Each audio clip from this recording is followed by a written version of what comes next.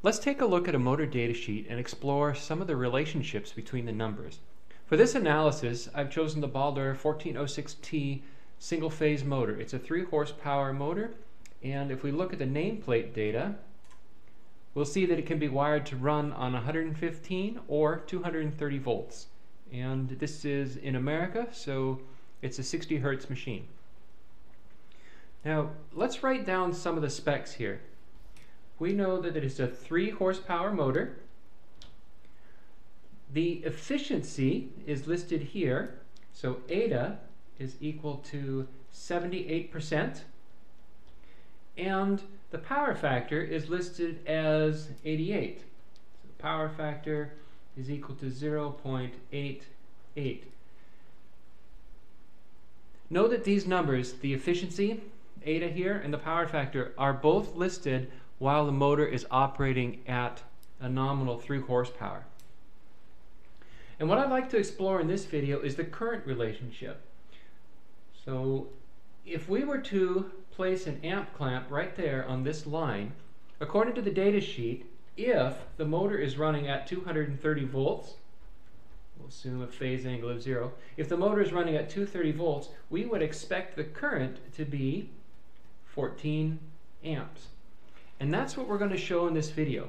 We're going to show that if you know the voltage, the horsepower, the efficiency, and the power factor, you can determine the current.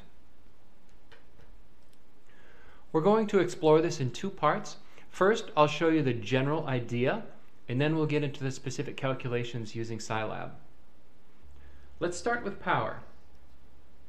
You may have seen these power flow diagrams before, and they basically tell you that there's going to be a power out, a power in, and then there's going to be losses along the way. For this particular motor, we know that the power out is 3 horsepower. We also know that the efficiency is 78%. So that means of the power in, only 78% of it makes it to power out. Or if you preferred, we could write that as efficiency is equal to power out over power in. It follows that the power in is equal to the power out divided by efficiency. The next step is to use the power triangle to organize our thoughts. Down here we have real power, which is the power going into the motor, and we define that as the output power times 1 over efficiency You'll recall power factor is the cosine of theta. Therefore, theta is equal to the arc cosine of the power factor. Also, from trigonometry, you'll recall that cosine of theta is equal to the adjacent over the hypotenuse. So you can see how these two are related. Which also means that the power factor is equal to the adjacent over the hypotenuse which makes it really nice for our power triangle because now we can just say that the magnitude of S is equal to the power out 1 over n times 1 over power factor. At this point in the problem, we know the vector S. You recall S is equal to the voltage times the complex conjugate of the current. And it follows then that the current complex conjugate is equal to S divided by V. And finally, if we take the magnitude of the current, that is what we should measure on our amp meter. Again, to recap, based on voltage, horsepower, efficiency, and power factor, we are going to show that the current is 14 amps. Now we're going to shift over to Scilab and show how the calculations are performed. Let's start by entering some of the values. The voltage source is equal to 230. Power out is equal to 3 horsepower. Efficiency, lowercase n, efficiency is equal to 0.78 power factor is equal to 0.88. power power in is equal to power out divided by efficiency. So that's the power in expressed as horsepower, but we want the power in expressed as watts. So we're going to multiply by 746 because every horsepower is represented by 746 watts. There we go. Next, let's calculate the angle. Angle in radians is equal to arc cosine of the power factor. If we prefer, you could say the angle is equal to the radians to degrees of the radians. There we go, so 28 degrees. And now we can figure out the magnitude of S. Let's write some of these numbers down before I forget. So power in is 2870 watts.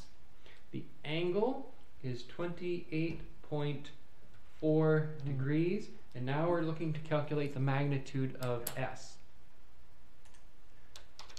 So S magnitude is equal to power in times 1 over power factor. So that's 3,260 VA.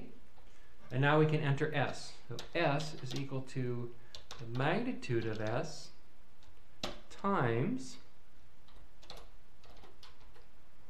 cosine of the radians plus j times sine of the radians.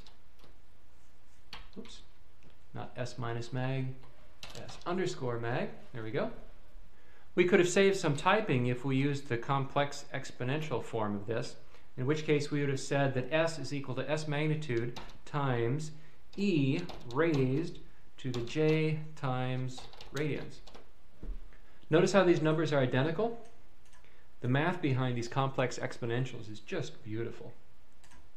Um, let's take a quick look at S.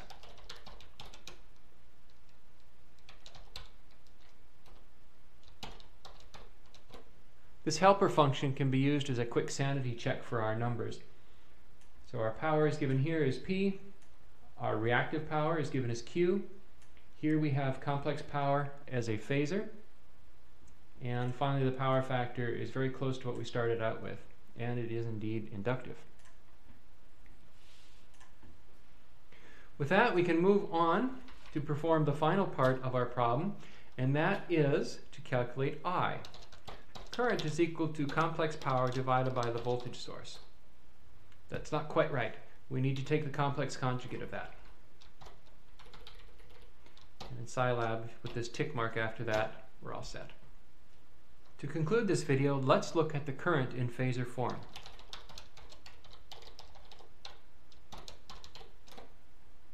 Oops. Don't forget to add the frequency. There we go. This phasor right here is the one of interest and it looks like we succeeded. If we used an amp clamp to measure the current on that line, we would have 14 amps RMS. If you would like to use the Scilab functions, please see the links below.